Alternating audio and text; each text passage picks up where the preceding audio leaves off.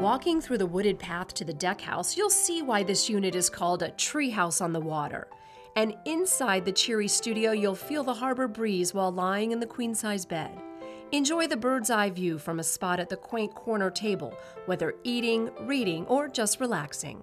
A small studio unit with a well equipped kitchen and private deck make this a perfect romantic retreat.